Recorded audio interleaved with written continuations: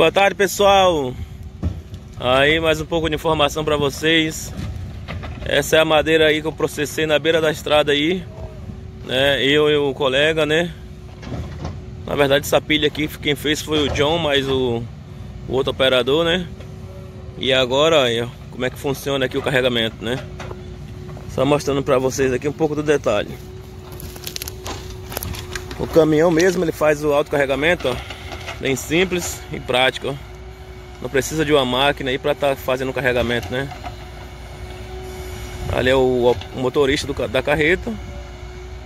Ele mesmo faz o, carregamento da, da madeira. Do caminhão, né?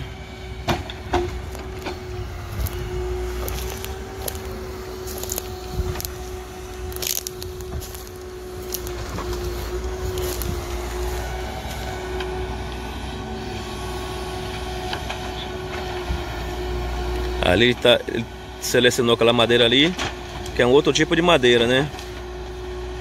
Essa madeira aí é o stud, né? A madeira melhor, mais uniforme, né? Aí tem duas seleções de madeira, polpa e stud, né?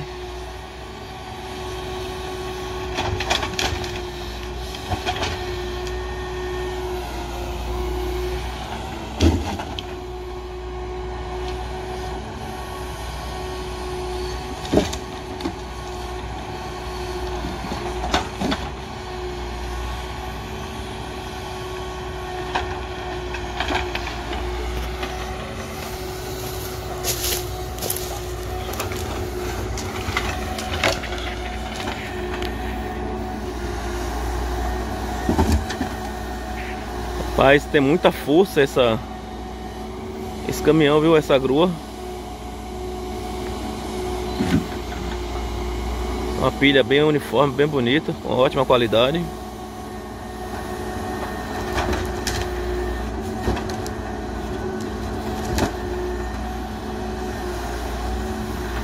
Aí, ou seja, o operador, o motorista que ele quer vir trabalhar no Canadá com carregamento de madeira, fazendo aí a, o carregamento, ele vai ter que ser, saber um pouco da operação de forward, né? Porque se ele não souber a operação do forward com máquina, com harvest, qualquer tipo de máquina, ele não vai conseguir fazer, não vai conseguir executar essa operação, né? Então já dificulta bastante para o motorista que quer vir para cá, para o Canadá trabalhando com caminhão.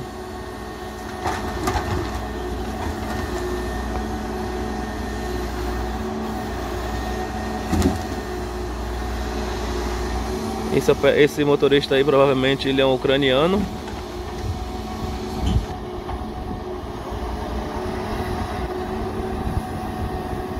Os movimentos lá são bem simples, ó. Vou dar um zoom aqui para pegar um pouco da operação dele, mais detalhe.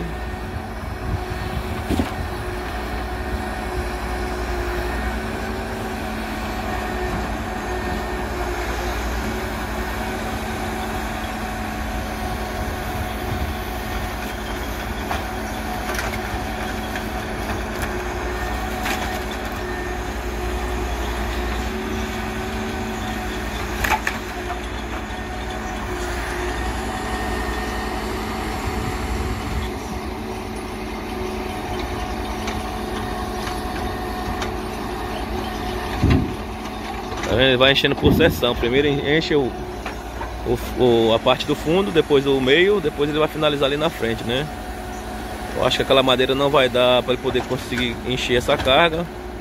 Ele vai ter que deslocar o caminhão um pouco para frente para poder completar o caminhão.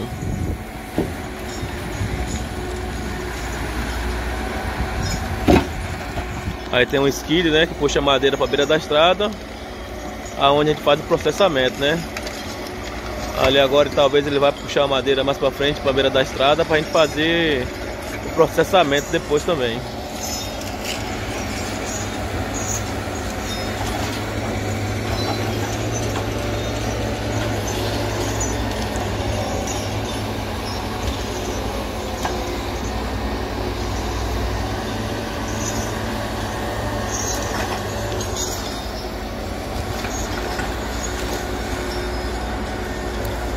Essa aí, ó, tá vendo? Essa, essa, essa madeira, ela já é uma polpa, tá vendo? Ela tá mais é, cheia de galha, né? A qualidade dela tá, não tá tão boa.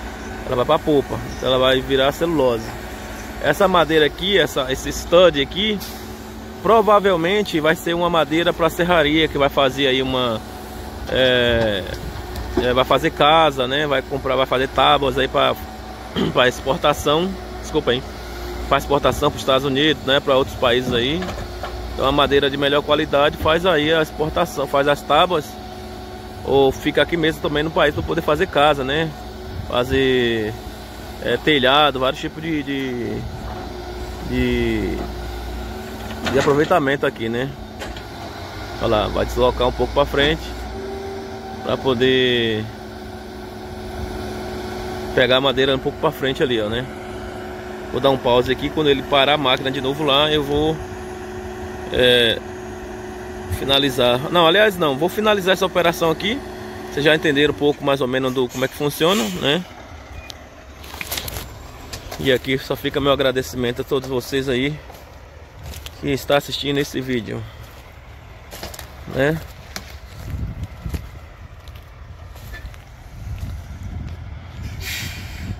Então valeu galera Obrigado aí a todos vocês que assistiram esse vídeo aí.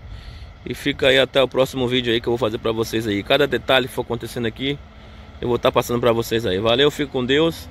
Não esquece de se inscrever no canal, hein? Obrigado, tchau. Aí pessoal, aqui é um pouco de cima da carga aí, ó. Depois que ele finaliza a carga Ele estica a lança em cima da, da pilha, né? Aqui é a visão que ele tem Né? E finalizada a pilha, né? Aqui onde é que ele senta, cadeirinha, os controles. Aqui é a bomba. Muito legal.